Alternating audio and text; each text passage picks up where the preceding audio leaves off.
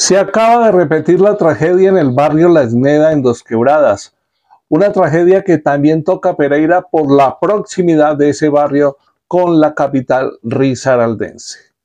El 8 de febrero del año 2022 se presentó en ese mismo sector un deslizamiento de tierra de grandes proporciones que cobró la vida de 17 personas.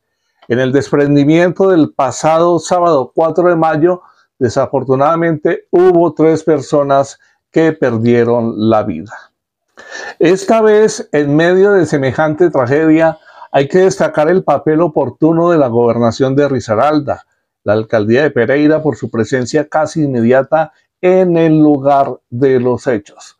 Por supuesto que destacamos también la presencia de toda la institucionalidad de Dos Quebradas y los distintos organismos de socorro que trabajaron incansablemente por retornar la normalidad en la SNEDA.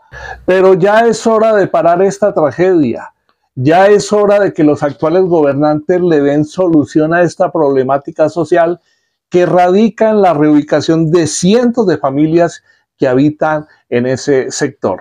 Sería bueno, si lo creen pertinente, que tanto el gobernador Juan Diego Patiño como el alcalde de Dos Quebradas Roberto Jiménez Naranjo y Mauricio Salazar Peláez como autoridad pereirana se pusieran en contacto con el exalcalde de Pereira Carlos Maya, quien afrontó la tragedia del 2022 y quien recientemente en la red social X publicó lo siguiente.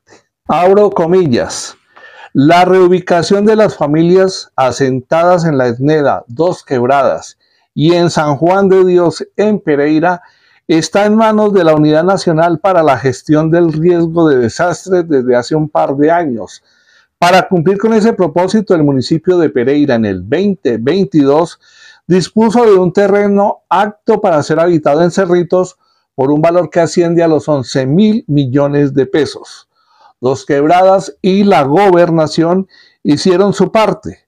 El gobierno del presidente Duque dispuso de 14 mil millones aproximadamente para construir el plan de vivienda sin avances satisfactorios a la fecha. Esta tragedia de la ESNEDA y las futuras pueden evitarse. Se debe continuar con la reubicación de todas las familias que viven en la margen del río Otún. Dice, repito, el exalcalde de Pereira, Carlos Maya. Saludo cordial para todos. Seguimos en contacto.